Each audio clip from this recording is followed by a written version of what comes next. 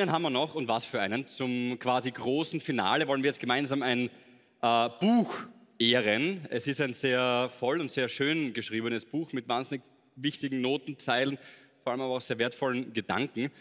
Äh, ich finde, Buch ist ja eine sehr gute Umschreibung für Lebenswerk, weil Lebenswerk klingt dann immer so ein bisschen, schauen wir mal, wie lange es noch geht, so ein bisschen, bisschen final, ehrlicherweise, und das, das wollen wir nicht. Deswegen ist das Buch, um das es jetzt geht, noch lange nicht fertig geschrieben, ganz im Gegenteil. Denn Amadeus fürs Lebenswerk erhält jetzt jemand, der nicht in alten Mustern verharrt ist, sondern der sich stets weiterentwickelt hat. Jemand, der am Puls der Zeit geblieben ist und gleichzeitig etwas erschaffen hat, das zeitlos ist. Und das wollen wir jetzt an dieser Stelle würdigen mit Jazzens! Wenn es ums Lebenswerk geht, dann darf die Reise durchaus auch ganz weit zurückführen. Und da reden wir von den frühen 1960er Jahren und Karl Ratzer. Die beste Band, die es in diesem Land für mich je gegeben hat, das waren die Slaves.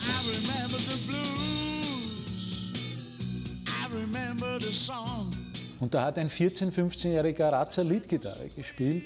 Und die haben zum Beispiel damals in der Schweiz die Who, da hat es ein Riesenkonzert gegeben, wo sie als Vorband zu The Who gespielt hat. Und am nächsten Tag waren die Schweizer Zeitungen Schlagzeilen, wirklich Schlagzeilen nur über Slaves geschrieben. Die waren sensationell.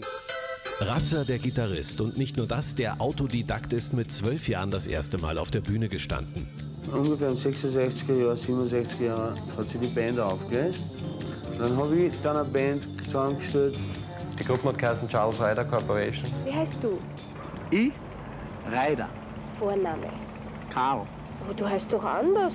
Charles Ryder. Dann gab es so, die sagen, die erste Superband in Österreich, Gypsy Love. Hornstein Kurtl am Bass, Janus Stoiker am Schlagzeug, Ratzer auf der Gitarre, Peter Wolf Keyboard, Richard Schönherz Keyboard, Lasch, äh, Leszek Slado äh, am Saxophon und so weiter. Ja. Also wow, George Doggett, Südafrikaner als Sänger. Es war nicht wirklich gut, meine Ahnung, weil es war mehr eine Familienangelegenheit. Weil wir haben uns alle gerne, meine Cousinen, Schwestern. Wir haben eine gute Band gemacht und haben ein bisschen gespielt. Und es ist einfach zu eng geworden dann. Weißt? Dann habe ich gesagt, ich will nach Amerika. Der Karl ist 74, 75 nach New York, ist in diese Szene gekommen und hat dann mit, mit dem Saxophonisten von Rufus, hat er dann eine Band gemacht, was ich mir erinnern kann, und war so einer der ersten, die in New York Fuß gefasst haben. Der große Hit blieb aus, ebenso wie die klassische Popstar-Karriere. Aber darum ging es und geht es bis heute bei Karl Ratzer nicht. Und es ist so, äh, dass es fast scheint, dass wenn man hier bleibt nach Amerika oder, oder egal von wo man kommt, dass es schlecht ist. Ne? Der ist halt wieder da. Aber das ist ja nicht wahr, weil wir haben sehr viel Talent hier und sehr viele äh, Leute, die, die was wollen. Karl Ratzer, der so gar nicht Popstar und man ist geneigt, laut Gott sei Dank zu rufen. Ratzer, der Kreative. Ratzer, der Lehrende, der sein Können an Studierende weitergibt. Ratzer, der Bühnenmensch, der die musikalische Grenzenlosigkeit liebt und lebt wie selten jemand und dabei wenige Worte verliert. Karl Ratzer hat eine Sprache und die heißt Musik. Und das hat letztendlich auch viel mit Technik zu tun, denn er ist einer der herausragendsten Virtuosen am Instrument und das mit Herz und Humor. Bitte begrüßen Sie den künstlerischen Leiter des Jazz and Music Clubs Porgy and Bass, Christoph Huber.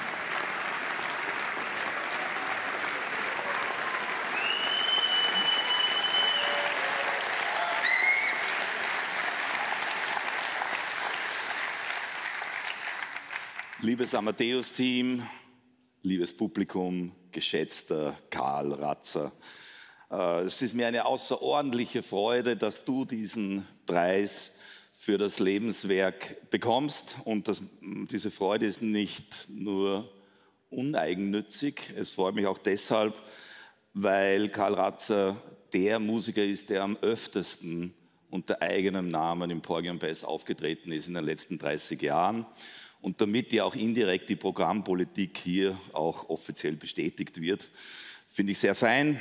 Äh, äh, ich habe jetzt nicht genau nachgezählt, äh, aber Die Zahl der Auftritte hat sicher die Dreistelligkeit erreicht.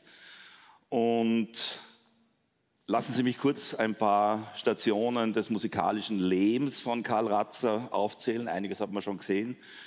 Äh, begonnen hat alles 1965 mit The Slaves, eine wilde Underground-Band, die trotz der Entdeckung durch den Manager, den damaligen von den Rolling Stones, äh, die aber trotzdem nicht lange bestanden hat, diese Band The Slaves. Es folgten Bands wie Charles Ryder Corporation, Sea Department und natürlich Gypsy Love mit Kurt Hauenstein und seinen Cousins Harry und Janos Deuker, eine Band, die bis heute Kultstatus besitzt. 1972 ging er nach Amerika und nach der Zusammenarbeit mit der Band Rufus, die wiederum durch Chaka Khan weltberühmt wurde, gründete er in New York äh, eine Formation mit Jeremy Steig, Eddie Gomez, Joe Chambers und etlichen mehr und sorgte dafür, sorgte dafür, dass Gitarristen wie John Abercrombie oder John Scofield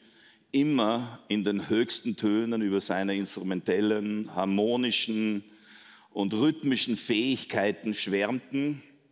Mit Chet Baker absolvierte er von 1979 bis 1985 äh, Duo-Konzerte in den USA, aber auch in Europa, unter anderem in der Jazzspelunke hier in Wien. Anfang der 80er Jahre kehrte Ratzer den USA den Rücken und kam nach Wien zurück und widmete sich seiner musikalischen Karriere, die sich kontinuierlich und konsequent bis zum heutigen Tag entwickelt und mit seinem aktuellen Quartett, mit dem er nun auch schon seit vielen Jahren arbeitet, einen künstlerischen Höhepunkt markiert. Sie können sich übrigens davon überzeugen, nämlich am 6. Juli äh, zu seinem Geburtstagskonzert.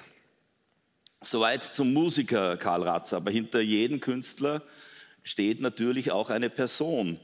Und eine Persönlichkeit ist er zweifellos. Der Sir, wie wir ihn seit vielen Jahren nennen, beziehungsweise mittlerweile auch mit dem Berufstitel Professor versehen.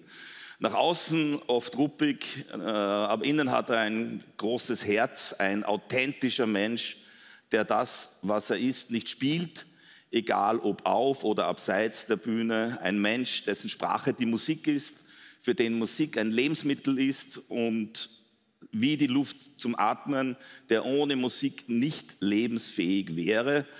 Lieber Karl, es ist mir eine große Ehre, zu deinem näheren Freundeskreis zu zählen und die Kulturnation Österreich kann sich glücklich schätzen, so ein musikalisches Genie zu beheimaten. Ich gratuliere dir herzlich zu dieser verdienten Auszeichnung und freue mich auf die äh, nächsten Konzerte. Und zum Abschluss noch eine deiner Textzeilen. Don't say I'm late, it's my time. Recht hat er. Chapeau, alles Gute.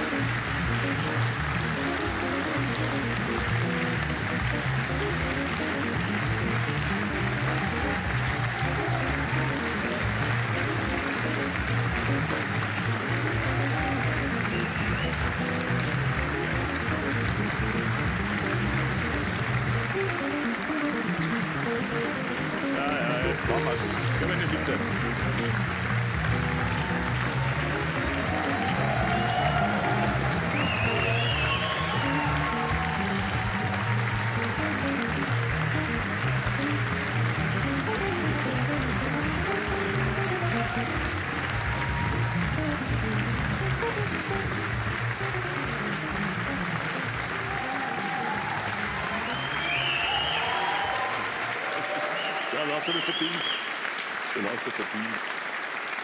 Aber jetzt muss man was sagen.